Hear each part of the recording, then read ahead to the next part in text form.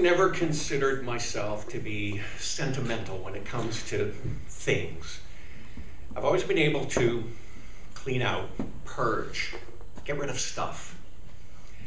However, I chose to marry a man who was the exact opposite and saw no reason to get rid of things even if you didn't need them. What are you doing with that? I'm throwing it out. Why? It's chipped. Well, it's just a small chip, it's still perfectly good. So you learn to pick your battles. And I guess one of the things that illustrates that is the story of the butter dish. So for years we had a butter dish that was this brown pottery butter dish that did its job just fine, held a nice stick of butter, had a lid. One day I opened the cabinet and there's the new white porcelain butter dish.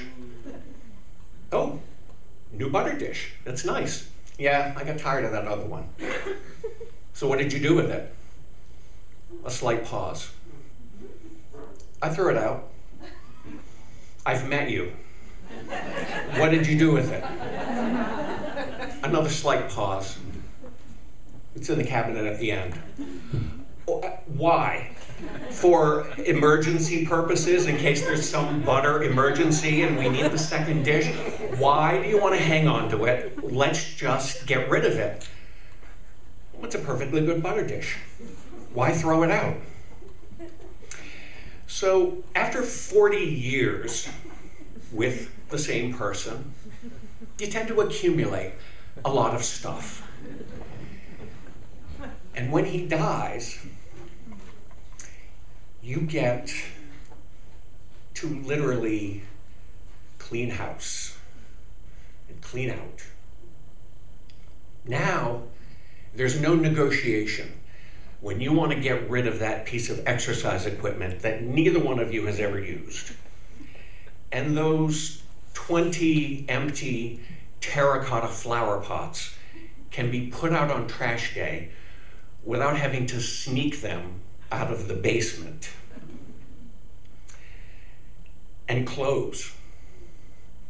Oh, a lot of clothes. Now, this was in 2017. So Hurricane Maria had hit and devastated Puerto Rico in particular. So there were a lot of people from Puerto Rico that were relocating to Philadelphia to be with relatives. And winter's coming in Philadelphia. And if you're from Puerto Rico, you don't have winter clothes. You don't need them. Well, I had a closet full of sweaters and coats and hats and gloves. So I gathered them all up and I donated them to an organization that was working with these displaced families.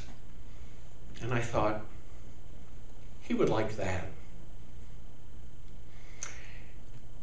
And even though like things are, are good, three years have gone by, life is good. And I've met a wonderful guy. But there's one thing I haven't been able to get rid of. When he went into the hospital and didn't come out, I left the hospital carrying that clear plastic bag with the handle and the clothes he wore when he went in. And in my dresser, in the bottom drawer, in that bag, is that shirt.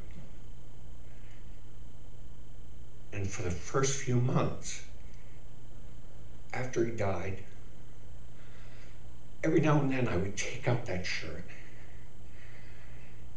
and I would just hold it to my face and I'd breathe it in as if I could smell it. But for the past two years, it's just stayed in that bag and it's sitting in that drawer.